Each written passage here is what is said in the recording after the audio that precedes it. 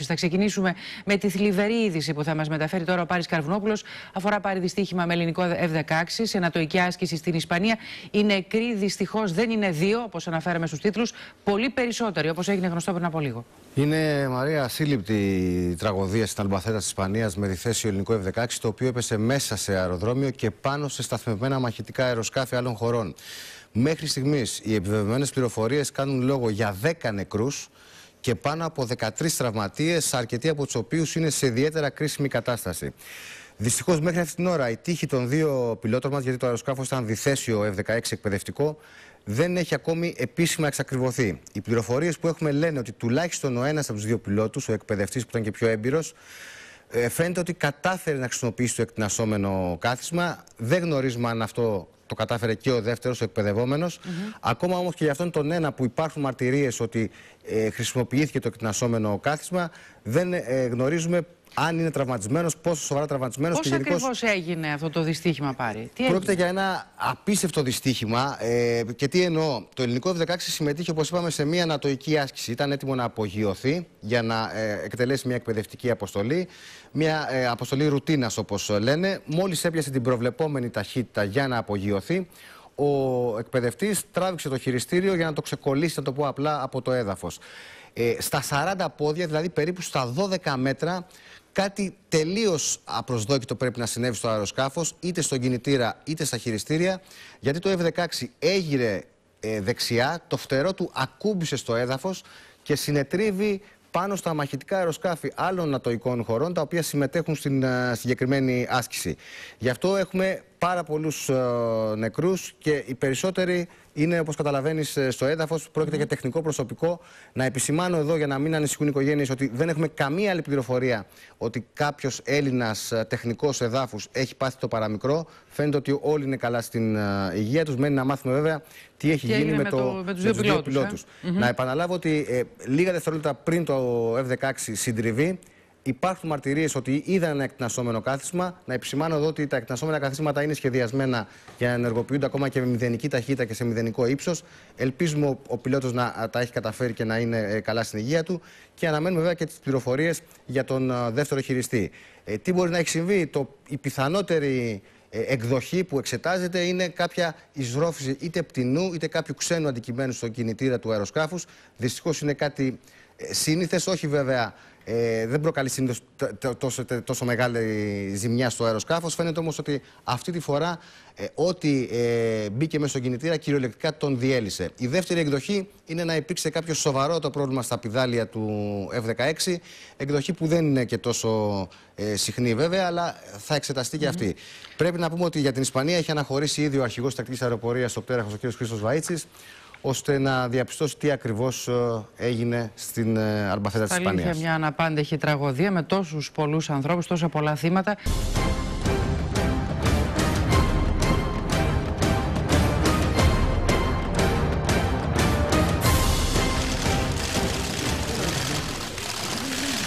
Ο Αλέξης Τσίπρας ορκίζεται πρωθυπουργός για πρώτη φορά με πολιτικό όρκο ενώπιον του Προεδρού της Δημοκρατίας. Κύριε Πρόεδρε, θέλω να σας διαβεβαιώσω την τιμή και τη συνείδησή μου ότι θα τηρώ το Σύνταγμα και του νόμου και ότι θα υπηρετώ πάντα το γενικό συμφέρον του ελληνικού λαού. Αμέσως μετά υπογράφει τον διορισμό του.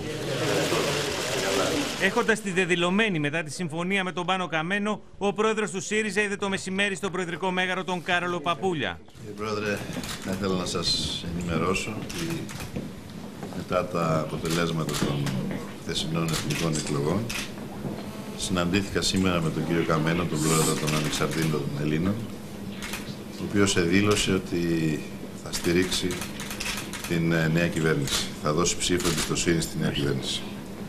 Ως εκ τούτου υπάρχει δεδηλωμένη, υπάρχει προβλεπόμενη, απαιτούμενη πλειοψηφία το Σύνταγμα και ελπίζω, θέλω να πιστεύω και ελπίζω ότι αυτή η πλειοψηφία ήδη υπάρχουσα των 162 βουλευτών μπορεί να γίνει ακόμα μεγαλύτερη κατά τη διάρκεια της ε, ψήφου εμπιστοσύνης μετά την ανάγνωση των προγραμματικών δηλώσεων της νέας κυβέρνησης. Κύριε Πρόεδρε, δεν έχω κάνω τίποτα περισσότερο από αυτό που ορίζει το Σύνταγμα να σας να θέσω την εντολή σχηματισμού κυβέρνησης. και νομίζω ότι μπορούμε να το κάνουμε πρώτα να σας ορκίσω. Και νομίζω ότι αυτό μπορούμε να το κάνουμε σήμερα. Νομίζω ότι θα ήταν ε, καλό να επισπεύσουμε τις διαδικασίες διότι μας περιμένει Δουλειά. ανηφορικός δρόμος. Ναι, ναι, ναι. ναι. Περιόδατε. Ευχαριστώ πολύ. Λίγο νωρίτερα ο κύριος Τσίπρας είχε επισκεφθεί και τον Αρχιεπίσκοπο Ιερώνυμο. Μακαριότατα ήρθα να πάρω την ευχή σας πριν να αναλάβω αυτό το δύσκολο έργο. Νομίζω ότι έχουμε ανάγκη από δύναμη. Και ήρθα να σας διαβεβαιώσω ότι οι σχέσεις Εκκλησίας και κράτους με τη νέα κυβέρνηση θα είναι ουσιαστικότερες και πιο αναβαθμισμένες από ποτέ.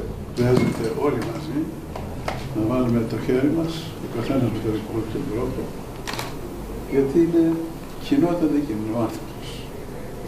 Τα άλλα είναι ανθρώπινα, αλλά τον άνθρωπο πρέπει πρώτα να βοηθήσουμε. Ο Πρωθυπουργός, επεφημούμενος από πολύ κόσμο, κατέθεσε και λουλούδια στο μνημείο Πεσόντων στο σκοπευτήριο της Κεσαριανής. Για πρώτη φορά τα κλειδιά του Μαξίμου δεν άλλαξαν χέρια μεταξύ δύο πρωθυπουργών. Ο Κώστας Μπούρας παρέδωσε για λογαριασμό του Αντώνη Σαμαρά στον Δημήτρη Τζανακόπουλο, που θα αναλάβει καθήκοντα στο γραφείο του Πρωθυπουργού. Η Νέα Δημοκρατία υποστηρίζει ότι αποτελεί πρωτοβουλία του ΣΥΡΙΖΑ να μην γίνει παράδοση του Μαξίμου μεταξύ των δύο αρχηγών.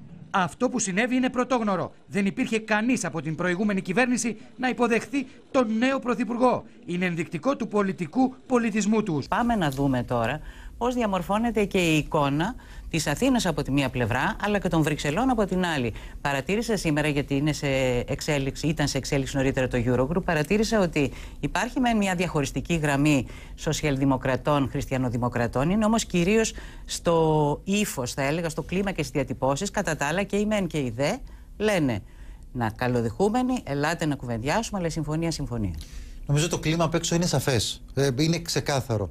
Υπάρχουν προσεγγίσεις λίγο υπιότερες, υπάρχουν άλλες πιο επιθετικές, αλλά είναι ξεκάθαρο. Αναγνωρίζουν το αποτέλεσμα, δεν μπορούν να κάνουν κι αλλιώς. Αλλά από την άλλη μεριά λένε πως θα συζητήσουν με το ΣΥΡΙΖΑ. Είναι μια καινούργια κυβέρνηση, ίσως χρειάζεται χρόνο, κάποια βοήθεια παραπάνω. Όλα αυτά όμως θα γίνουν αν η χώρα βρίσκεται σε πρόγραμμα.